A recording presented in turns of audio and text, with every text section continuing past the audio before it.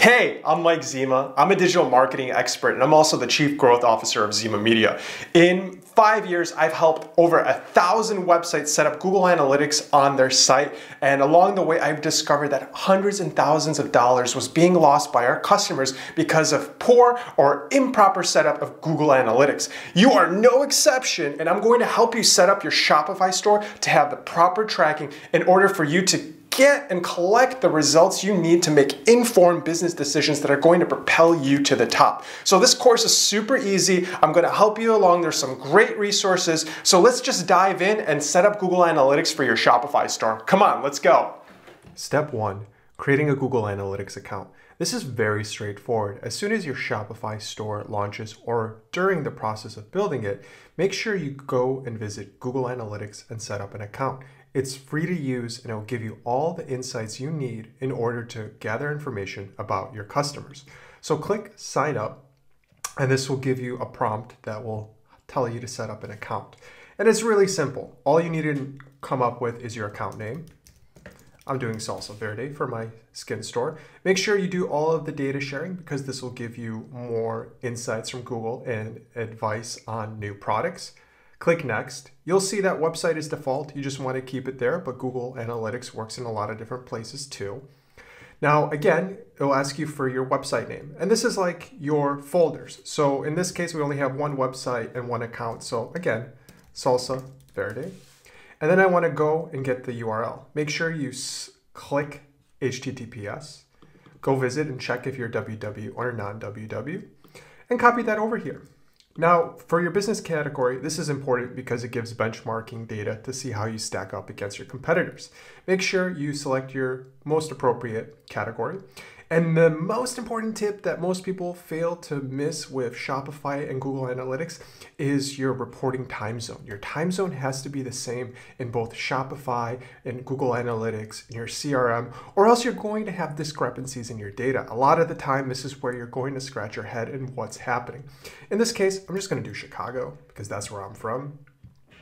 And I should be good to go. You have to accept all these permissions. And that's it. You've set up your Google account.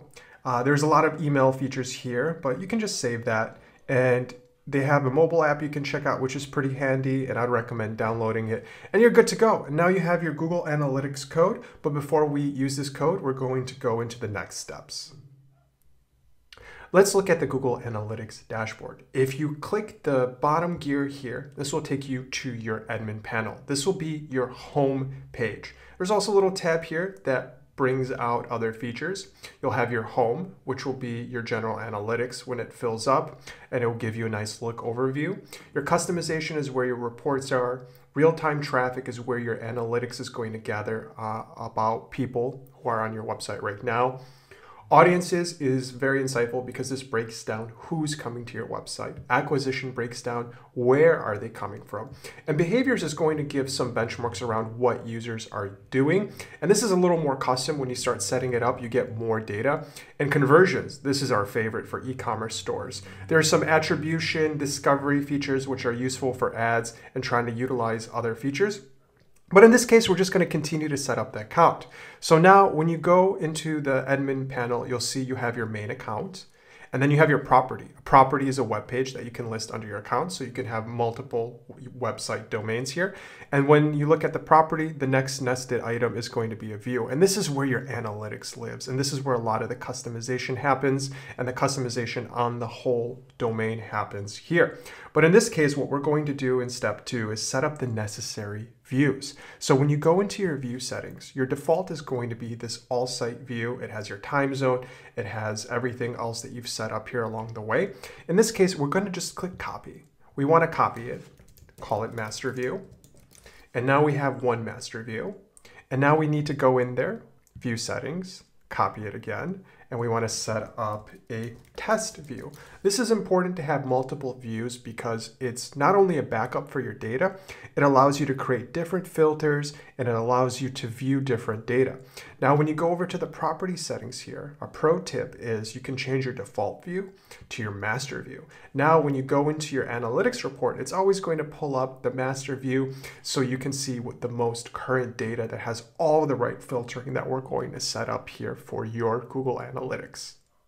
Now we're going to exclude internal traffic. This is really common if you have different people on your team visiting your website consistently throughout the day. You want to filter them out in order to reduce any inflation in your analytics. And it's just a good practice so you have a clear sight of what your website traffic is really doing. And filtering is really easy. When you go into your admin panel here and you go into your property and your master view, you'll see something called filters and you can go ahead and click those filters and they're not set up by default. A lot of things in Google Analytics are not set up because it's custom to your use case. So make sure you add a filter. And this one is going to be called exclude internal traffic. This case, we're going to use predefined filters, exclude, IP address, and select begins with. Now, to find your IP address is pretty simple. into Google and you'll get your IP address. So you go in here, close that out, and save it.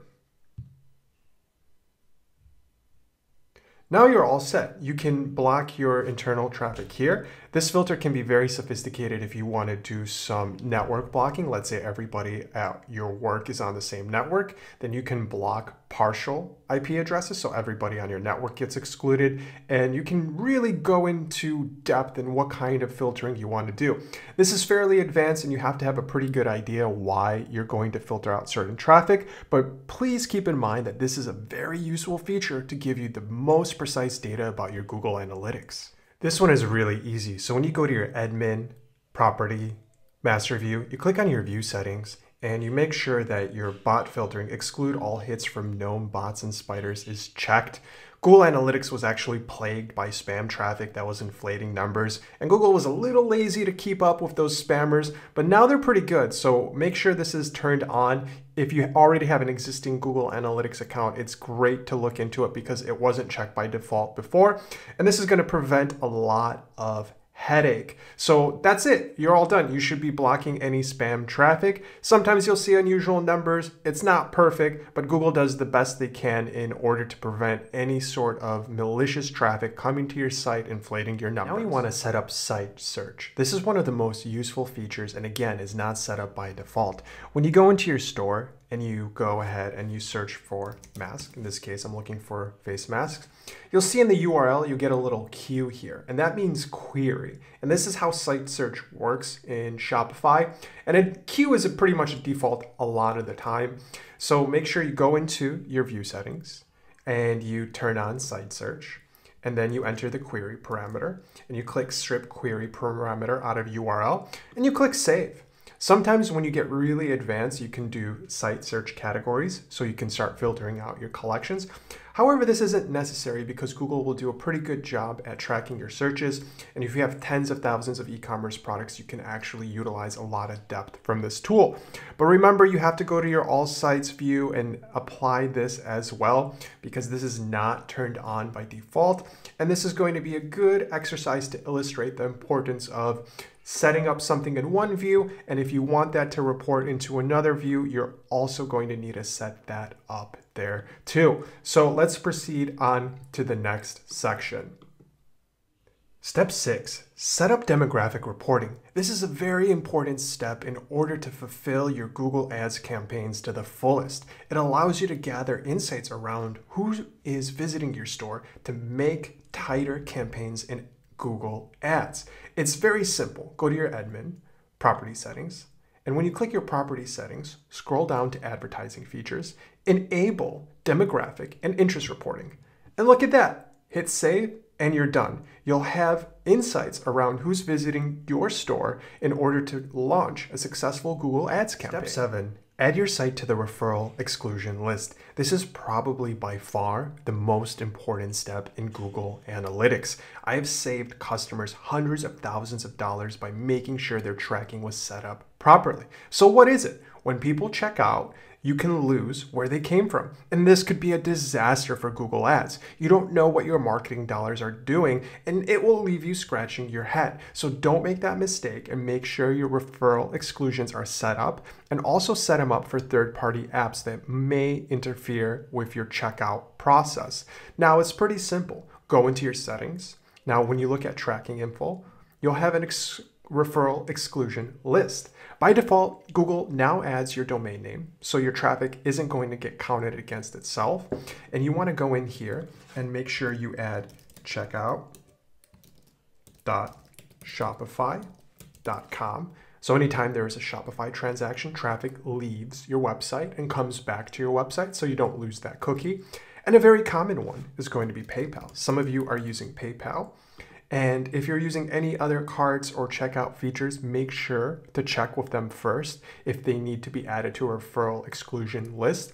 And if you aren't tracking your data correctly, make sure you check where your checkouts are happening. And a lot of the time, it could be a referral issue. So pay close attention to it because this could be the success or failure of your e commerce store. Step 8 Set up Google Signals for cross device tracking. This is a really advanced technique that allows your Google ads to go into overdrive and not only your Google ads, but also your SEO and social media traffic. Anytime somebody visits your website, whether it's on a desktop, tablet, or phone, they'll visit your website through another device. And this is how Google Analytics figures out who's who and it starts to join them together so you get a more dynamic profile about the people visiting your store from admin, property, visit tracking info, and data collection. So this is where you're going to get a little wizard and you click get started.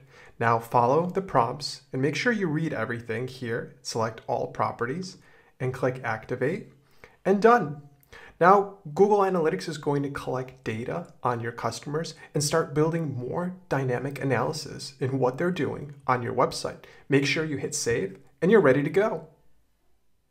Step 9. Add the Google Analytics tracking code to Shopify.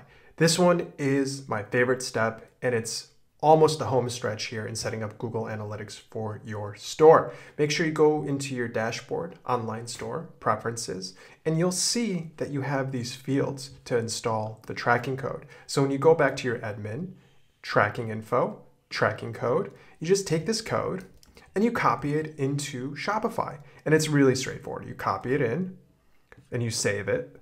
Shopify does some magic here. And you're all set. Make sure you flip use enhanced e-commerce and you're good to go. You're getting the maximum features that Google Analytics offers for e-commerce. And all you have to do is go in your backend, look at your master view, and then when you look at your e-commerce settings, you have to turn on your e-commerce and enable enhanced e-commerce and click save.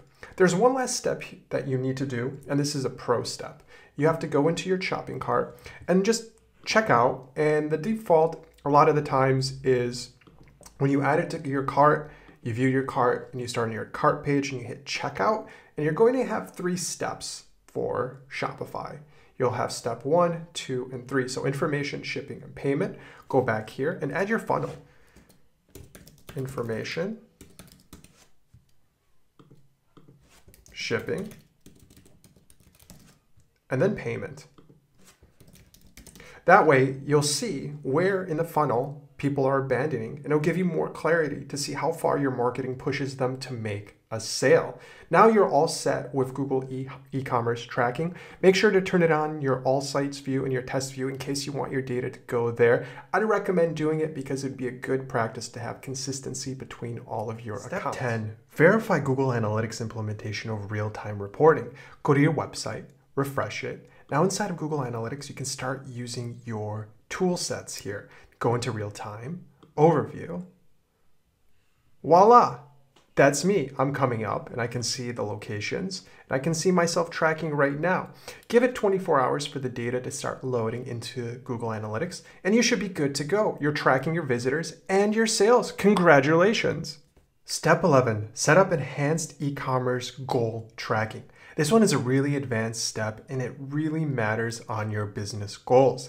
A lot of the e-commerce tracking is already done on your website, but you may want to set up other goals like contact me or if they visit a certain web page. These are important to measure any sort of marketing you're trying, but I'm going to set up a simple one and give you an overview and how it works. So when I look at this particular product, I have the URL of this product and I want to track it anytime somebody lands on it. So when you go into your admin panel, and under your master view, you're going to see goals. There's about 20 goals you can create. You can import a couple of them from galleries to test, but I'd recommend playing out here. So you'll see that there are some templates you can choose from. Revenue, acquisition, inquiry, engagement. And this is all very cool. You can track product views, product add to carts, address, shipping, payment, etc. All that's tracking, but really let's look at a product view goal. So I'm gonna set up a custom goal here and I'll just show you a breakdown. Goals require a name, the ID between 1 to 20, and also the types of goals. You have a destination, so if they visit a certain web page, a duration, how long they spend on a web page, an amount of web pages they're visiting per sessions. An advanced one, which needs further setup, is an event. So they take a certain action by submitting a form or clicking a button. This can all be tracked. So we're going to set up a quick destination goal, move forward, and I'm going to call this view black sugar. And then it equals to this. You can assign a value to it, you can assign a funnel, and this is where it gets really, really complex because you can have custom marketing funnels set up with goals, but you don't have to get carried away with it and hit save. And you're good to go you have a view black sugar one, and you'll see this start to tick up as soon as people start visiting it. Make sure you consider what kind of goals you want to set up and whether or not you can find many of these goals inside of Google Analytics. Your e-commerce tab is going to have a wealth of information, so make sure you start utilizing your reporting as soon as it starts loading data. I know flat line isn't impressive, but your line is going to start rising the more marketing you commit to your store starting today. Thank you for watching this Shopify marketing course. Every day we're launching new Shopify marketing content to put you in the driver's seat of your business so you can have full control of your marketing and advertising. Hit subscribe, hit notifications, and tune into the next video that's starting now.